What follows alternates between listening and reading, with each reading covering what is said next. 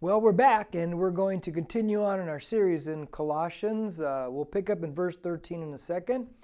Uh, we've had a good time in these first two teachings through uh, this uh, little New Testament letter, but I want to begin uh, with this question Have you ever been slandered or misrepresented? Who hasn't, right? I mean, and some of the slanders I know in my life that people have said about me is like, really? Where do you get this stuff at? I mean, it's not even close, but you know, people do this all the time. Well, in this Colossians church, there are false teachers that have come in and they're misrepresenting, slandering the name of Jesus Christ. They're completely teaching the wrong Jesus in this. And Paul writes this little letter to drop some theological bombs on these false teachers to set the record straight of who Jesus Christ is. You could wanted to title it, you could call it with the, the you could call it the real Jesus. So here we go. The first thing I'm going to tell you as we get right into it is this Jesus is our deliverer. Now, verse 13 says, For he rescued us from the domain of darkness and transferred us to the kingdom of his beloved Son. Now, when he says he's delivered us, the word deliver there, because Jesus is our deliverer, it means to rescue from danger. Danger? Jesus rescued us from danger? Yeah, a danger that we could not rescue ourselves from. Well, what danger were we in? The domain of darkness. What, what, what do you mean? Well, the word domain there means force, mastery, control, influence, and authority. Now you put it together, it's starting to make sense that we have been rescued from the danger, the power, the control, the influence, the authority of Satan, who controls the world and its thinking, who controls the culture. You say, come on, Jim, isn't that a stretch? No. Go back and read the Old Testament letter of Daniel. He pulls back the curtains in a, in a section there and he lets you see that there are certain demons, powerful demons, who have strongholds over different parts of the world. In that particular case, it's the Prince of Persia, Iran. So don't tell me there are no demonic forces. Uh, there aren't any demonic forces controlling the culture and the thinking, being pushed forth through various media outlets to try to get us to think their way instead of the Word of God's way. Don't tell me that that's not true, because I know it's true. Now, We've been transferred. You know the word? It's a great thing. It's the idea of the deportation of a population from one country to another country. You know what's fascinating about that? History records, interestingly enough, that Antiochus, he um, transferred or transported 2,000 Jews from Babylon to Colossae, where the Colossian church is. So, do the Colossians understand the idea of transfer? You better believe they do. So, Paul, smart writer, smart teacher, he's using things that they can understand. But let me get into this to set the record straight here. The difference between that illustration and what's happening here is conquered, defeated people were transferred. But as a follower of Christ, you're not defeated and you're not conquered. As a follower of Christ, you're a winner. You've been transferred and you're a winner because you're in Christ now. Let me give you a, a, a, verse and then let me give you one of my favorite ways to illustrate the verse. I only get to say this every so often because I don't want to wear out this, this, this uh, illustration, but it, it is so good. Now, it's found in Romans chapter 9, verse uh, 37. It's a great chapter. It's one of the best chapters in Romans, actually, uh, of many great chapters. Verse 37 says this to believers.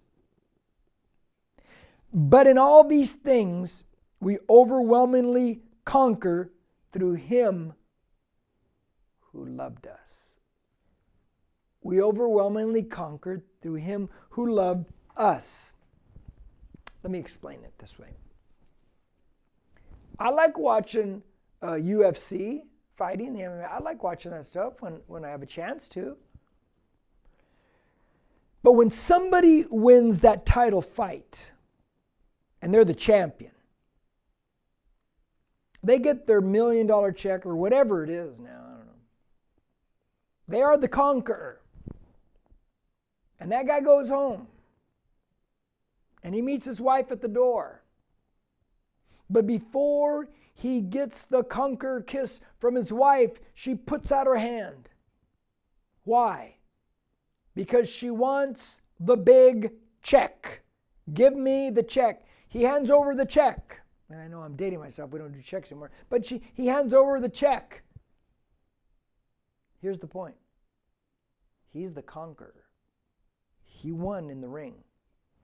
The wife is more than a conqueror because she never had to fight, but she gets all the rewards.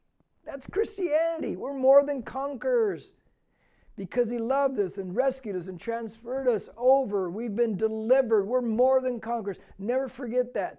So, therefore, when you and I serve and give and fellowship and pray and share, we're expanding the kingdom of God the kingdom of God, this new kingdom that we've been transported into. I like that a lot.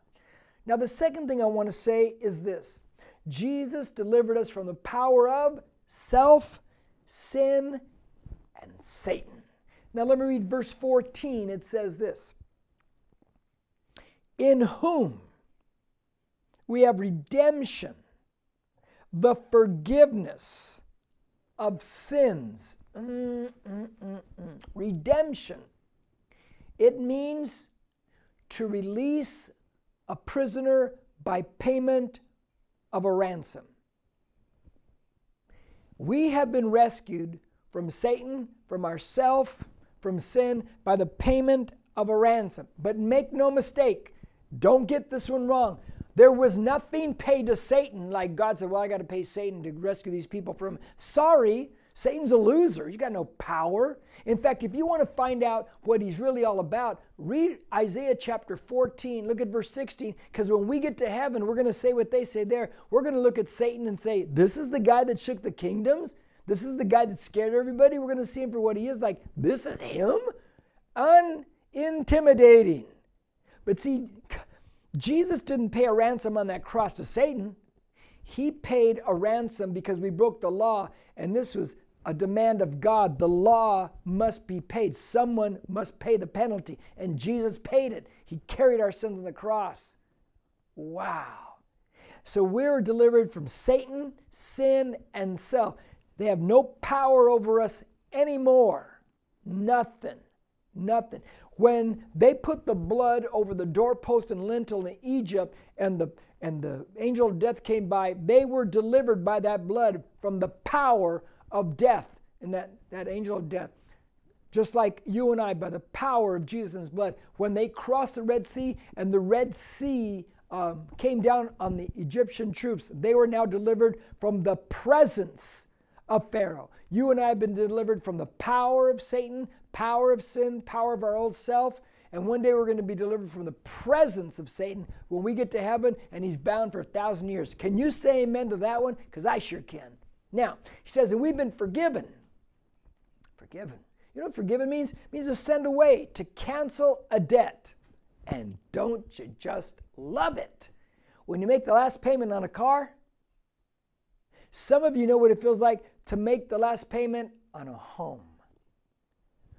Free from debt. Free. Let me tell you. Through Jesus, our faith in Him, by the blood that He shed on the cross, all of our sins have been forgiven and washed away. All of them. Now, listen, you may not feel forgiven, but is forgiveness based on your feelings? Or is it based on the fact of Jesus on the cross shed his blood to forgive us?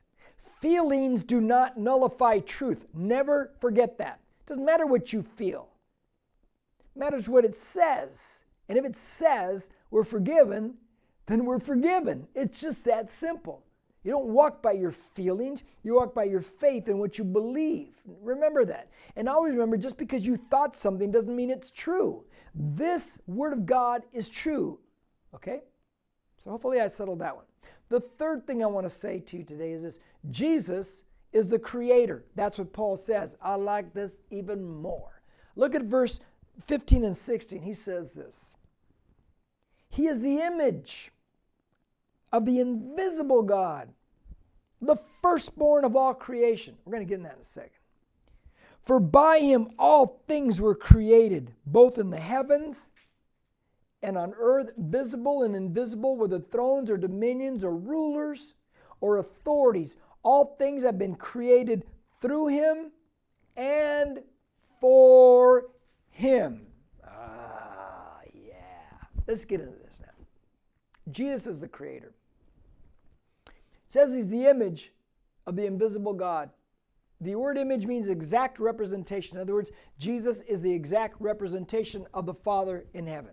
Didn't Jesus tell the disciples, If you've seen me, you've seen the Father? Let me just side note this real quick. This is another place where Jesus is saying he's God. Absolutely. That's what he's saying right there. Now, why is Paul pressing the point of Jesus being God? Why is he pressing it to the Colossians? You know why? Let's go back to the Gnostic false teachers again. You know what they're teaching?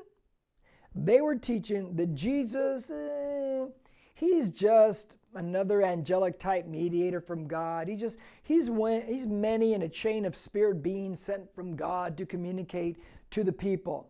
That's what they're saying. That's what they're teaching. Paul comes down, slams the hammer of truth on him, corrects him, and says, Nope, Jesus is actually the creator of all things. He's the only God.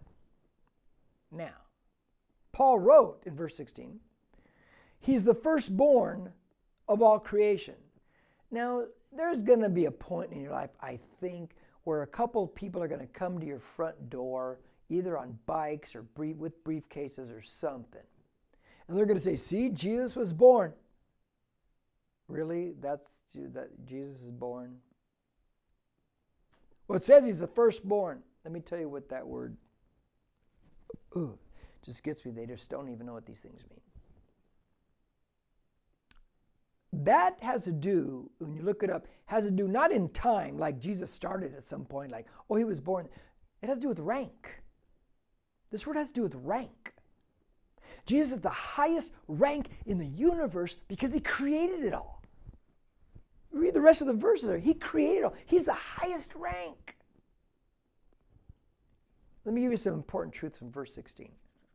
First important truth is Jesus is God, the creator. I, have said it before, I'll say it again, I'll say it in the future. If an atheist ever asks you, well, who created God? Here's your answer. Say, I don't believe in created gods. Created gods are called idols. My God is the uncreated first cause of the universe. He created it all. He wasn't created, He always was. Another truth I want to give you from this is Jesus created us. I like that. Because just like an artist puts something of themselves in everything that they create, we and all of creation reflect something of God. Oh, yeah, we do. Oh, yeah, we're created in the image of God, image and likeness, that's a fact. But let me show you some really cool verses on this whole idea. In, in, in uh, Romans chapter 1 um, and verse uh, 20, watch what it says. For since the creation of the world, his invisible attributes, his, his eternal power, and divine nature, have been clearly seen, being understood through what has been made, so that they are without excuse. What does he say? What's Paul telling us? He's saying, look, all you have to do is look around and you see nature, you see the creation. It's evident, it's obvious that there's a, crea- a creator that he created these things. And the more science delves into these things and, and you see the fine tuning of the universe is fine tuned for human life and you see the complexity of the human body and all these, you realize somebody, something had to create this thing. It just didn't happen. Hmm. Let me read another verse Psalm chapter 19. on this whole idea. Psalm 19 says this The heavens are telling of the glory of God, and their expanse is declaring the work of his hands. The heavens tell of the glory of God.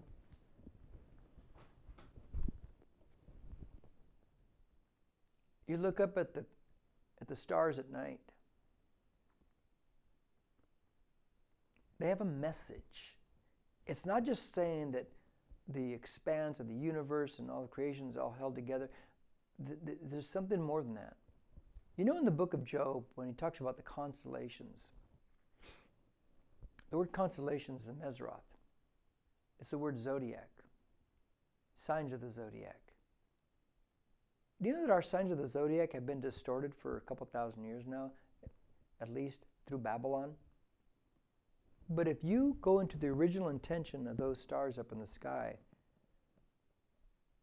you find that there's a message, and the message begins with the virgin and the child to come to save mankind. It's up there in the stars. Adam knew this, the early believers knew this, but it's been distorted. The heavens have a message. They declare the glory of God. Isn't that amazing? Now, let me say something. Everything gains its meaning through Jesus. Everything. All things have been created through him and for him. Science says, oh, science answers everything. People, I shouldn't say science. Science is nothing. People say Scientists say science answers everything. No, it doesn't. Can science tell you why you're here? Can science give you your purpose? No. All science can do is say, oh, just luck of the draw, man. There's no rhyme or reason to why we're even here. Oh, how hopeful. A verse I like to bring out constantly now is Revelation chapter 4. And, and let, let, let me read it to you. You can turn there, 411. You say, Jimmy, use this kind of regularly now. I really, yeah, because I want to drive home one point. Revelation 4:11 says, "Worthy are you, our Lord and our God, to receive glory and honor and power, for you created all things.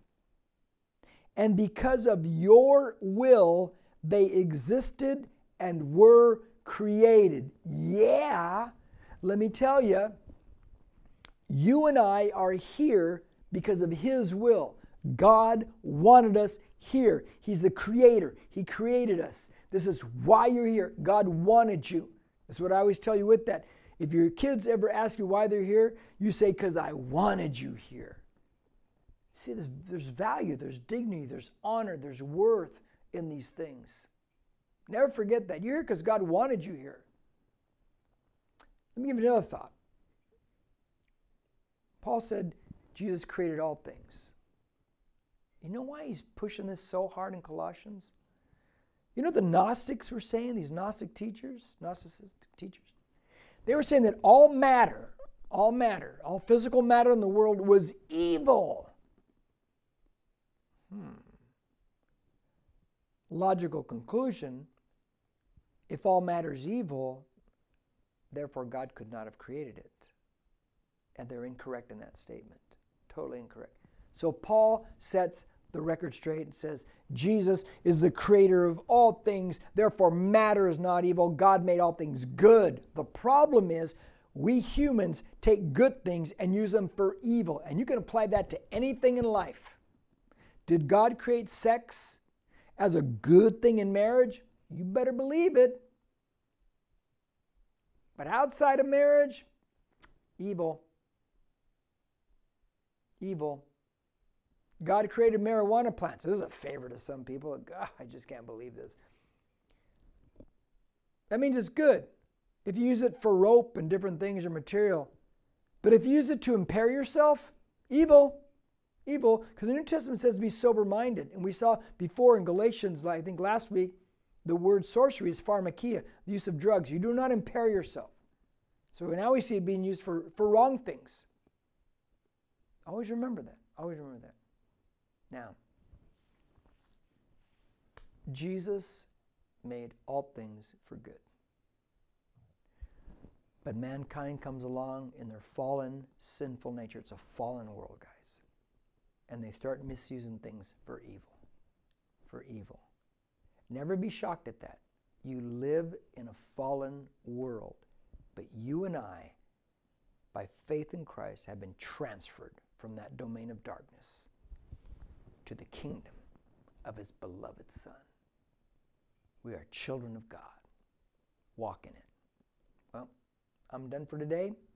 Hopefully, this meant something to you. We'll see you next time.